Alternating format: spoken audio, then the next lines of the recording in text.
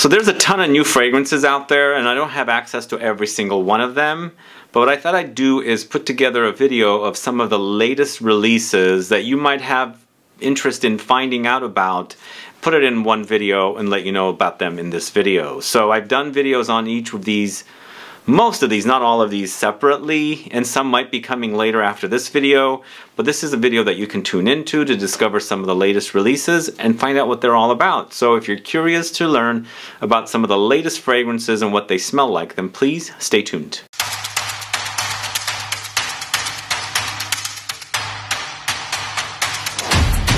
Thanks so much for tuning in. This is Sebastian. Yeah, what are you guys interested in most that have launched already that you want to get your nose on and to smell to see if you like and end up buying? Put a comment down so I can find out. And yes, there are always new stuff coming out and I don't have access or the budget to get all of the fragrances, but I've got some here that I'm going to talk to you about. And as I said, some of these I have spoken about, some not. Some might have their own individual videos later and most probably not. So let's start with this one. This one will not have a individual video later, but I might do a brand overview if I buy a couple of more of their fragrances. But this is one that I purchased while I was in London. It's from the house of Thomas Kosmala, number four candy. So this is uh, a very fruity tart, juicy fragrance, but there's an underlying dryness about it and kind of the ambroxan touch that's in the the fragrance from this house called Après l'Amour number 4 is under here as well. In the end, it's lots of fruits. There's tart fruits, there's sweet fruits, but it's red fruits according to the notes. There's cherry, there's raspberry blossom, there's tiare flower, and then there's vanilla, cotton candy, and caramel. And then of course the, uh, you know, kind of like that ambroxan thing that's in uh, the original, well, I, I, shouldn't say it's their original, it's their more popular fragrance called number four, Après l'Amour. This is number four candy, and I liked the way it smells. I like it, and I'm waiting for it to warm up here in, in the Northern California for, so I can wear this because I feel like the tartness in the fruits and the freshness and then the muskiness from that ambroxan thing that's in here is going to be perfect in that kind of weather. Spring I think is going to be fine, but I'm waiting for hot summer days to try this one. It might lean a little feminine because of the fruitiness and of course that pink cap over there but I felt like the bottle was fun and it smelled really nice while I was at Harrods so I bought a bottle so number four candy from the house of Thomas Kosmala have you guys tried it yet do you enjoy it so this next fragrance is from a designer. This is a relaunch of a very popular iconic fragrance from the 1990s. They've relaunched it as Angel Elixir. I did a full review of it.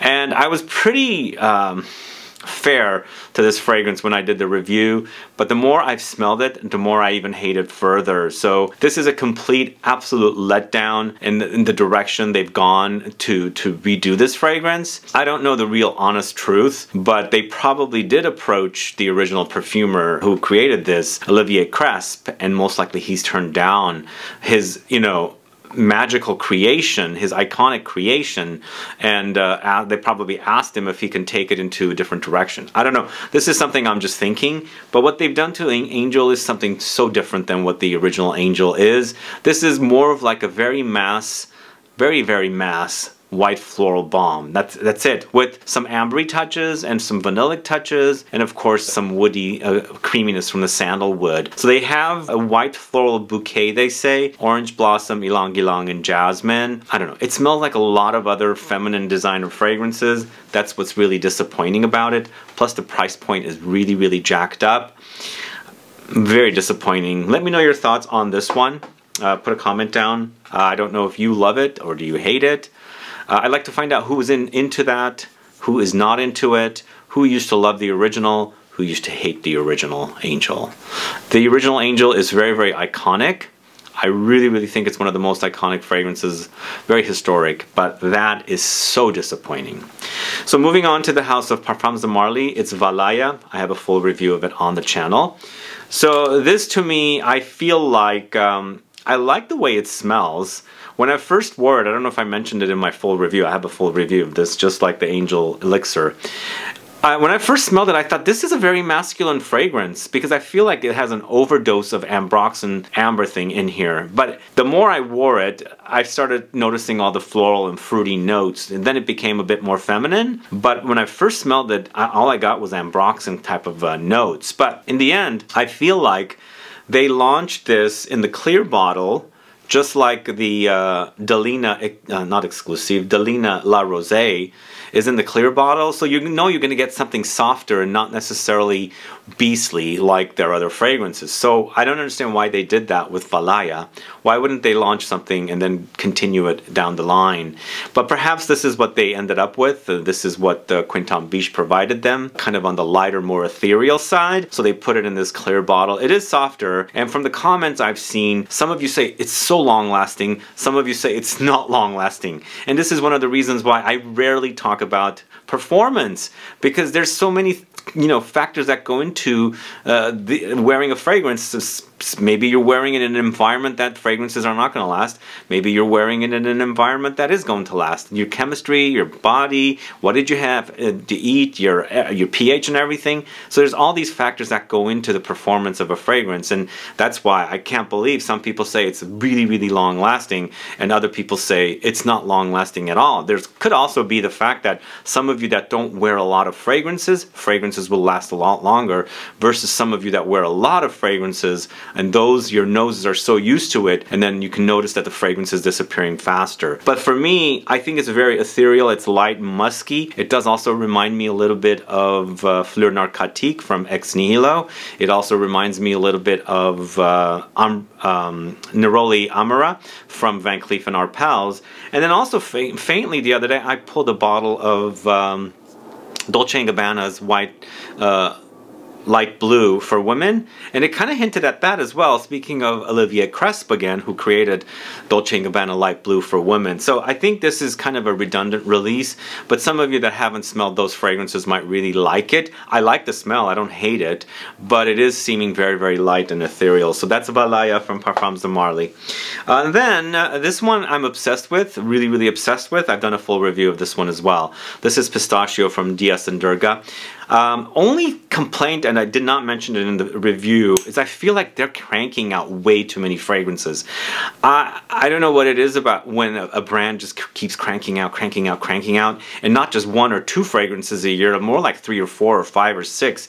And I feel like D.S. and Durga is doing that, and I just was like, I have a hard time keeping up. I don't even want to go near their fragrances, but I'm I'm really obsessed with pistachio. So I, I knew that this was coming out a year ago. It came out as a limited edition and never got to smell it at that time. And then earlier this year while I was in London, I heard it was, you know, making it as a regular lineup fragrance. So when I was at Liberty of London, the department store, there was a D.S. and Durga section there and I asked and she had a sample to smell. As soon as I smelled it, it really was a, a great fragrance I loved. So there's a fragrance from the house of Laura Mercier called uh, Creme de Pistache uh, which I used to really love. Never owned a bottle, but I always sprayed it when I walked by the Laura Mercier section of Macy's, and I really, really loved it. And this kind of reminds me of it, but that one was more gourmand. Here we have a bit more earthiness, lots of patchouli here, which I like, and lots of cardamom, that spice, and then a bit of vanilla cream to give it a creamy edge to it. Very nutty, and then there's also the roasted almonds, so it creates a, a nuttiness.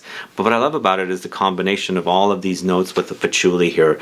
Patchouli, pistachio, pistachio, patchouli. It's fantastic fantastic fragrance. Check it out if you don't know it. It's uh, pistachio. I was going to say it's patchouli from D.S. and Durga, but it's pistachio from D.S. and Durga. Have you smelled that one yet? Let me know your thoughts. So up next, going to the House of Goldfield and Banks. Uh, I've done a recent video with uh, Dimitri Weber of Goldfield and Banks. If you haven't caught that video, go catch it. We speak a lot about Island Lush, the latest release from this house. And to me, this one actually is even better than the last fragrance they launched, which is the Purple Suede.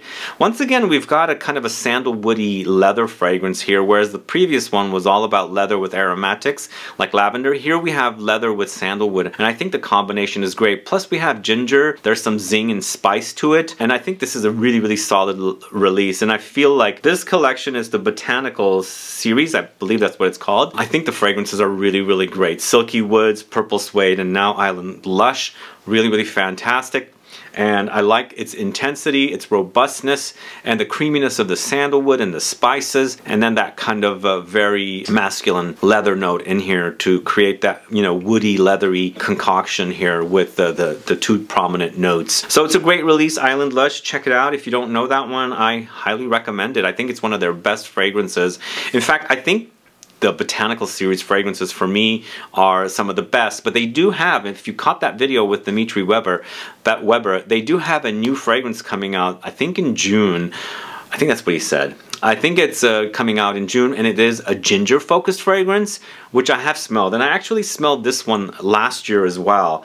Uh, and then when I met him again when he came to San Francisco, I smelled it again and it smelled fantastic. So I'm looking forward to the ginger because I'm obsessed with ginger. And speaking of ginger, Escentric Molecules, three fragrances. So uh, we've got the ginger here, I think. This is the ginger. Yeah, this is Molecule 1 plus ginger. And then we've got Molecule plus 1 black tea. And then we've got Molecule 1 plus Gaiac wood. So here's the thing. When I shot my video of this one, I wasn't really digging the Gaiac wood. Now I've really, really started digging the Gaiac wood. I don't know what happened, but I sprayed it again, overdosed myself with it, and I like the smoky, woody, lightly sweet vanillic undertones that the Gaiac wood has, along with the ISOE Super, which is cedar sandalwood. I think this trio is so super delicious, really great. In fact, I prefer all three of these, and then last collection with the Mandarin, Patchouli, and the Iris. I really never got into the Iris. I don't know what happened with the Iris one. For me, it was not really going anywhere. I, have turned around to the Gaiac wood. I think the Gaiac wood is super fantastic. In fact, I'm shooting this and I'm on my way to the airport very, very soon. And I'm going to take the Gaiac wood with me on a trip because this is, I think it's a great fragrance to wear every day on a trip, something like that. Uh, it's kind of woody, it's smoky, a bit sweet, vanillic and I think this is going to turn heads. It's going to get attention. I think it smells super fantastic that way. So really, all three of them are great. Go catch my video on these three fragrances. But the ginger is super zingy and spicy. The black tea is a bit green and very cozy, comfy, and then of course a bit smoky as well. And they all three feature the ISOE super note. So you're going to get that uh, cedarwood, sandalwood kind of a combo with the, uh, these three notes uh, separately. Uh, big fan of the Escentric Molecules fragrances. Absolutely love them and I think they're doing gr a great thing to launch these um, Molecule 1 fragrances with the addition of one additional note. I think that they're fantastic. Really big fan. Okay, so moving on to the house of uh, Electimuss London. This is Gladiator Oud, uh, another fragrance that just launched from this house. And this is also created by Julien Rasquinet. I wasn't a big fan of the Vici Leather that came out late last year, but really loving Gladiator Oud a lot. I think there's a light hint, maybe a light hint of something as a reminder of his creation for Frederic Malle, but they're so different. For me, that's a little more ethereal and airy. Here we have a density, and there's definitely the addition of cumin here, lots of cumin, whereas that one might have a little bit of the dabbling of cumin there. Uh, and then this is a overdose of honey, and it doesn't have the fruitiness, whereas the other one, uh, which I think it's called why am I forgetting the name? Anyway, the Frederic Malle fragrance that Julien Rasquinet created. Moon, it's called Moon. Yeah, it, it, it, maybe there's some light reminders, but this is a lot more dense for some reason and not as fruity. And the cumin is more spiked here. And there's the honey here, of course, saffron. Great fragrance created by uh, Julien Rasquinet. Again, I didn't care for Vici Leather. It was a bit too animalic and a bit experimental for me. I, I didn't care for it. Here, I get animalics, I get cumin, but I think this is a job well done for me. I really like this one. And I think definitely very wearable, especially if you like the idea of oud. Gladiator Oud. This is from Electimuss London. Let me know if you've sampled that one. Let me know what you think of all the fragrances I've spoken up so uh, spoken about so far. So we have a somewhat disappointing fragrance from uh, Givenchy for men called Gentleman's Society. I don't really hate this one. Still, I don't really love it. It's not one that I would reach for over and over again. I think it's a solid release for people that like these kind of fragrances. It's cardamom, vanilla, narcissus, which is basically the daffodil flower. There's cedar, palo santo, and there's a trio of vetiver in here plus sage so it's aromatic, spicy, a bit vanillic, floral, a bit kind of metallic and spicy uh, and creamy woody at the same time. But again, it doesn't really shout out come wear me kind of a thing, you know? But I think this might have a market. I think it might do well. I don't know. Not for me. Again, I'm, in, I'm, I'm in between. I'm still not sure if I really love it or really hate it. Uh, I'm fine with it. I don't hate it as much as the EDT that came out in the series uh, back in 2017. I like it a little more. There's a little bit of a reminder of when you first spray it with the cardamom of La Nuit de, la Homme from YSL. It goes away pretty fast though. And also the fact that this has Narcissus and H24 from Hermes has Narcissus. They don't smell anything alike. So we'll see if this is popular or if it's going to have a following or if it's going to get a, a hyped. But Gentleman Society, are you a fan of it? Uh, do let me know. So I ended up buying a Kilian fragrance because I like the idea of this fragrance and I think it's fairly decent. I should have had this fragrance for my Orange Blossom Neroli fragrance video. I didn't have it, unfortunately, but Can't Stop Love, Loving You, I think it's pretty decent, you know?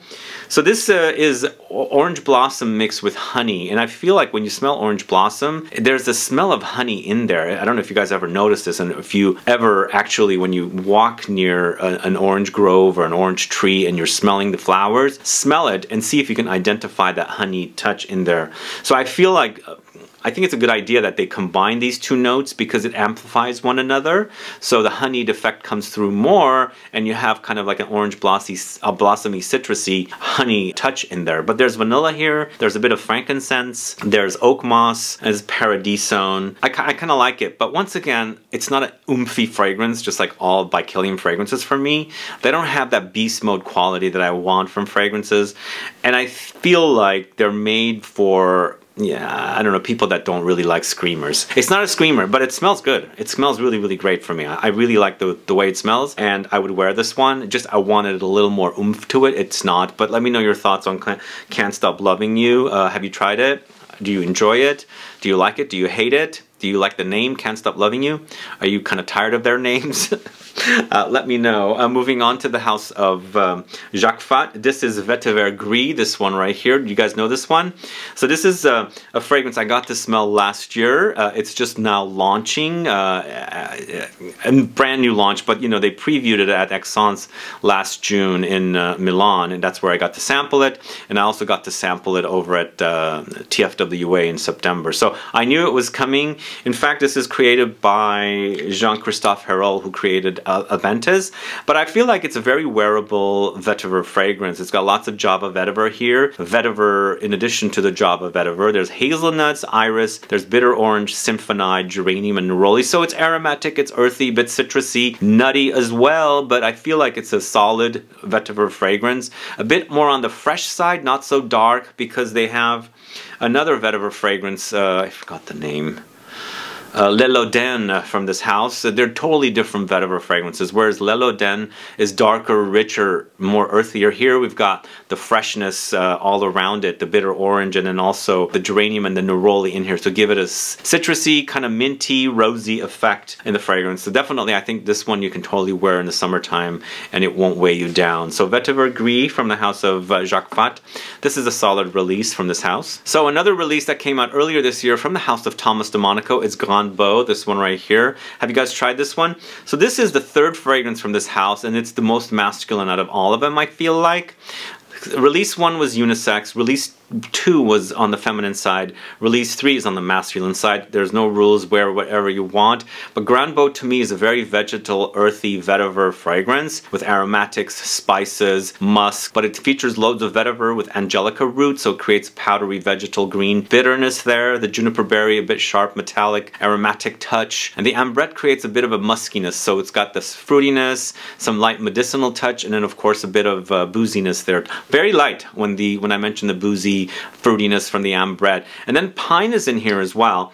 But I feel like the Angelica is so prominent uh, in here. And then a bit of smoke resinous touch olibanum. For me, this also kind of reminds me of uh, French Lover. So if you're a fan of French Lover from Frederic Malle, definitely check out Grand Bow. They're different, but then both of them utilize the Angelica root, so you'll notice the familiarity there. So Grand Bow is pretty solid. I still prefer Raw Gold from that house. In fact, it's, it's such a popular, not popular, it's such a favorite of mine. I featured it in my Scent Club kit number four, and I really, really love it. So we've got two fragrances uh, back to back created by Francesca Bianchi, first of which is Byzantine Amber, and I believe you'll see a video very soon I did uh, with both of these fragrances in the one in one video. So, so we've got Byzantine Amber from Francesca Bianchi, and then we've got Obsessive Devotion from her other brand, Hedonique. So Byzantine Amber is a great amber, very smoky, a bit animalic, dry, spicy, and ambery for sure. So leather also is prominent here, and me got really smoky leathery, which I really, really liked. Great, great fragrance from her once again. Now moving on to Hedonique, on the other hand, so different from a lot of Francesca Bianchi fragrances. This is very floral, but also very patchouli, which is really, really solidly beautiful. It has champaka, patchouli, there's iris, there's smoky leather, peach, ylang ylang, oak moss, sandalwood, bergamot, and grapefruit. To me, it smells fantastic. I think this is so different than a lot of other Francesca Bianchi fragrances I smelled. I feel like she's going in a new direction that's really, really fantastic. So I'm really, really digging Obsessive Devotion. Although I'm digging Byzantine Amber as well, but for me, Byzantine Amber from her own line does remind me of the DNA of her other fragrances. But for me, Obsessive Devotion, so different. Like the DNA is not there. It's almost like a, a brand new DNA, which is a, kind of a breath of fresh air here. So both of these are really solid releases, Byzantine Amber and Obsessive Devotion. Let me know your thoughts on those if you've sampled them. A couple more fragrances for you. We've got Mushu Maro from Unique Luxury. So this is another intense fragrance from Unique Luxury, and it's uh, kind of going into the uh, Japan theme, and I, I, feel like they've done a good job capturing that theme. I'm not sure if I'm really enjoying the fragrance myself, so I think maybe I need to kind of dig into it and wear it a lot more. And I think there's a softness and cloudy kind of uh, soft very, very gentle touch about it. And I feel like it's coming from that marshmallow note in here. So it's got marshmallow, cashmere wood, there's milk, there's incense, there's caramel, musk, muguet, rose, praline, and vanilla. So it's definitely milky. And I feel like, you know, I think the theme and inspiration is totally there. Just the combination might not be working too much for me. I think it's the marshmallow that's throwing me off. It's almost in between of creamy milkiness and a bit more like custard, if that makes sense. Uh, more softer and not necessarily like liquid form. But you know, in the end, you've got the rosy touches, the muguet, and then of course the vanilla uh, praline things coming up as well. And for me, it reminds me of a dessert, like a Japanese dessert. Like um, sometimes when I have Japanese desserts, when I go to Japanese restaurants, they're kind of in between sweet and savory. So I feel like that's what you get here. So I'm still not 100% you know, really into the fragrance, but I like the idea of it, so I'm going to keep trying. So, Mushu Maro from uh, Unique Luxury, wonderful offering there. And then finally, Amouage's Guidance. This is the only one I have from the four new fragrances, and I like two of them. This is one of them. And Guidance is created by Quentin Bisch. It features sandalwood, pear, osmanthus, vanilla, saffron, hazelnuts, rose, and olibanum. So once again, we've got a milkiness here, just like the last one, but more, more, more like custard in the last one here. We got definitely creaminess smooth, creamy, milky touch. And then you've got the pear touch, you've got the rose touch. For me, this one was an instant love when I smelled it out of the bottle. In, in fact, I actually did first impressions from the samples, and I feel like I got a better, uh, better experience testing it at the store out of the bottles versus the samples, if that makes sense. So I hardly rely on samples. I just need the bottles to test. And it, it, was like instantly like, wow, this smells super fantastic and I really, really love it. I like the pear touch in here and I like the rosy touch and the light toasted nuttiness of the hazelnuts. And I feel like hazelnuts are not toasted, but I think we're getting it from the olibanum note. Uh, anyway, it's really delicious. This is Amouage and it's um, guidance. And then I forget the the second one that I liked from the collection. It's the tall one with the the zingy fresh uh, citruses and the incense.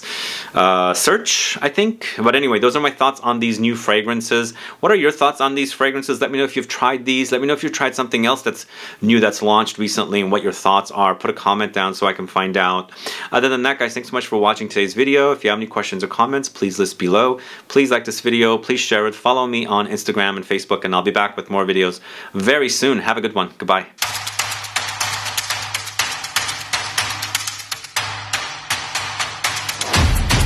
So I'm highlighting this fragrance as well, even though it came out last year, and uh, I'm just getting around to doing that. And I think this is super fantastic if you guys like gourmand fragrances. And it comes in one of the most beautiful, beautiful bottles. This is the House of Oud's Ruby Red. As you can see, a beautiful, beautiful bottle. These bottles are gorgeous, and this is a ginger balm with white flowers. If you like the idea of ginger, because it's got not only candied ginger, there's ginger blossom, and there's regular ginger in there. So it's spicy, it's zingy, it's got this fresh spiciness about it, and then it's meshed with lots of ylang ylang. There's tuberose, there's vanilla, there's woods and musk. Uh, it wears super fantastic. It is absolutely really, really delicious, and I think I highly recommend this one. There's something about the bottle though, um, the color and the way it's it's created is uh, really just reminds me of some kind of a dessert. I don't know what it is, but um, either way, if you haven't got your nose on the Ruby Red, I do highly recommend it. It did come out last year, but I'm just getting around to it, so I left it here as a bonus option. Anyway, thanks so much for watching, guys. See you later. Bye-bye.